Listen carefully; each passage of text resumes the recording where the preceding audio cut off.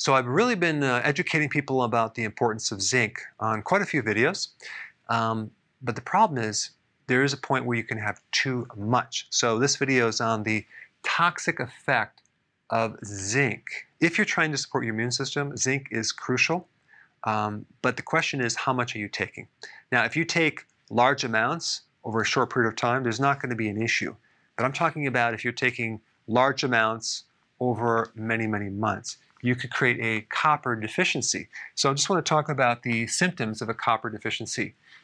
Nausea, vomiting, pain, diarrhea, high LDL, low HDL, sway back, but you're probably not going to get a sway back. This usually happens before you're born, but that's just one of the symptoms. Anemia, pale, decreased appetite, you're irritable, fatigue. You can also have a problem with building collagen because you need copper to build collagen. Zinc and copper work together. Too much zinc, you deplete copper. So I always recommend when you're taking zinc, take copper with it as well as all the trace minerals together. And that way, you never have to worry about it.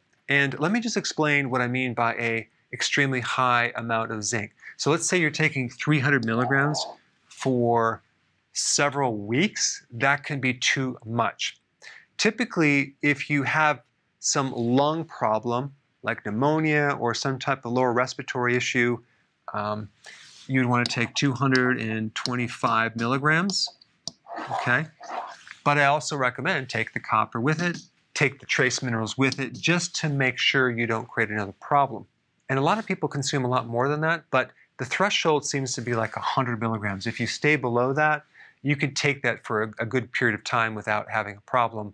But as soon as you start going over 100, you start creating problems with copper. It's not just taking zinc over a period of time, it's the amount of zinc that you're taking, and then you have the time variable as well. And on the flip side, to balance out this conversation about zinc being toxic in large amounts, most people are deficient in zinc, and our bodies do not retain zinc for any period of time. So we're, we're constantly losing zinc, and we need it. So if you're not consuming foods that have zinc, chances are you'll, you'll probably be deficient, and there's a whole series of symptoms with that. You want to think about just the right amount. You want to make sure you have the foods with enough zinc, but if you just take it with copper, and all the trace minerals, you're going to be totally fine. And as far as a video on zinc deficiency, I put that link down below. Check it out. So I just spent the last two months creating this amazing course called How to Bulletproof Your Immune System. And there's 21 different lessons, and I want to give you this course for free. And the problem I have with giving it free is sometimes people don't value it as much, but I want to get it out there. So I'm just going to give it to you free. And I want to let you know that it's extremely, extremely valuable. Right now, we're in a situation uh, of uncertainty. Uh, they're talking about a second wave, and other people are waiting for this miracle vaccine that may be safe. Who knows? It's all unknown. So, what is the big elephant in the room? No one is talking about the immune system. They're not emphasizing the most important thing that you can do to bulletproof yourself against viruses and bacteria. This course is going to lay out things in 21 different lessons. I'm going to teach you very simply what your immune system is and exactly what you can do to strengthen it using natural things. There are three requirements. Number one, I want you to share it very, very widely. Can you imagine if thousands of people had this information to protect themselves? But not only that, getting rid of the fear factor, which I believe is worse than the virus. I mean, when you think about it, it's very similar to someone being bullied in school. As soon as they learn self defense, they're going to be less adversely affected by these bullies. So, why not give you the information on your immune system so you know what to do to protect yourself? You see a lot of people that are scared. I see them when I exercise, like in, in the park, they're wearing a mask while they're exercising or walking by themselves. Or in a car, they're wearing a mask and a shield.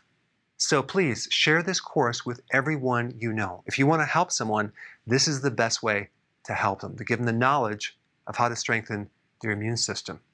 We want this to go viral in a healthy way.